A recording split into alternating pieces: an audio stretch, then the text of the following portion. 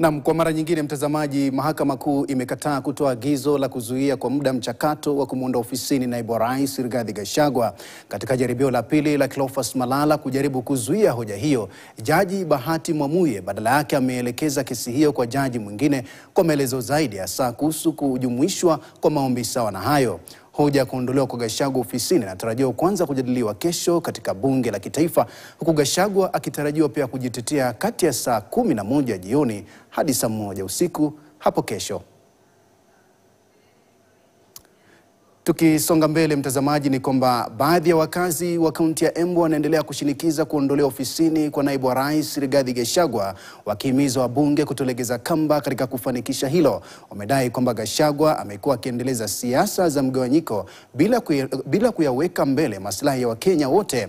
Wamezitaja kauli zake kuwa hatari kwa umoja na maendeleo ya taifa. Nataka serikali ambayo itakuwa na peace, heshima ambayo itakuweko. Kwa hivyo kama wewe ukiwa deputy president ama ukiwa in the person of the deputy president Rigathi Gachagua na uheshimu rais wa Jamhuri ya Kenya, unafaa uende. Jambo la pili, hatuwezi kukuwa na deputy president ambaye kazi yake, ajenda yake kuu ni kugawanyisha wa Kenya, akiangalia pande ya ukabila, na hiyo ndio sisi hatutaki. Eh, mimi na support Gachagua aende nyumbani eh, kwa sababu eh, anasema eti hii serikali ni ya shares na yeye kama kiongozi wa kitaifa haifai abague kila mwananchi. Gasagua ana makosa yote amefanya, sio final. Final anakuanga president, hata akifanya kitu lazima president apitishe.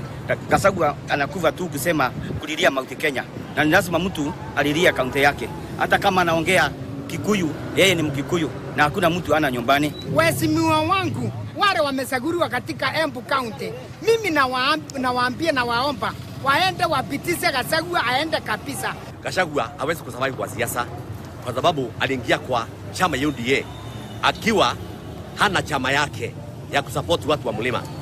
So ukiangalia mtu kama Ruto alikuwa supafu ile miaka yake ile tamu zake mbili alivyoendelea wakiwa na uhuru.